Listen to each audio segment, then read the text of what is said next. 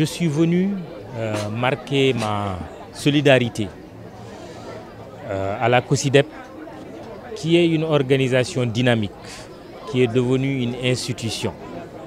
Et je crois que ce rendez-vous de la foire des innovations en éducation et formation, c'est un rendez-vous qui doit être inscrit dans l'agenda, l'agenda du pays, l'agenda institutionnel. Je crois que c'est des initiatives qu'il faut soutenir et vous venez de le dire, nous en sommes à la troisième édition. Alors, le mouvement Demain maintenant dont je suis le leader et qui porte notre candidature à l'élection présidentielle du 25 février 2024 a une vision qui s'appelle co-construction. Parce que nous avons fait une analyse de la situation de notre pays au cours de ces dernières années. Analyse du contexte qui nous a amené à considérer que certes, nous avons construit beaucoup de choses en termes d'infrastructures au cours de ces 20 dernières années et plus particulièrement ces 10 dernières années. Euh, on parle d'aéroports, on parle de ports, on parle d'autoroutes, on parle de train express régional, on parle de BRT, on parle de beaucoup d'autres réalisations qui sont importantes, qui permettent au Sénégal de franchir un pas.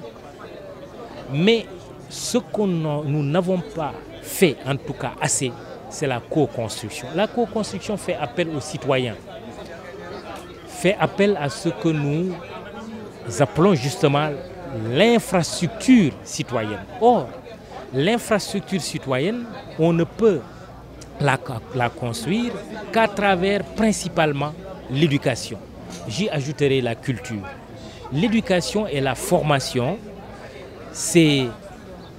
elle permet ou elles permettent aux citoyens d'être bien éduqués, d'être instruits, d'acquérir un savoir dans plusieurs domaines, mais aussi aux citoyens de se réaliser socialement et économiquement. Je crois qu'aujourd'hui, le chantier qu'il faut engager, c'est le chantier de l'éducation et de la formation. En y ajoutant, comme je disais tout à l'heure, la culture, parce que j'estime que la culture s'ajoute un peu à la formation à l'éducation pour faire du citoyen justement un citoyen complet. La culture parce qu'il faut se connaître à travers la préservation de notre patrimoine.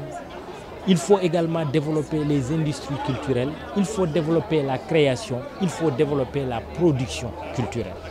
Je crois que si nous associons ces différents euh, piliers, en tout cas, qui de mon point de vue constituent l'essentiel de, de toute politique publique, politique de développement, nous arriverons, à mon avis, à faire du citoyen sénégalais un citoyen conscient des enjeux, un citoyen également assez bien outillé pour participer à l'œuvre de développement de notre pays.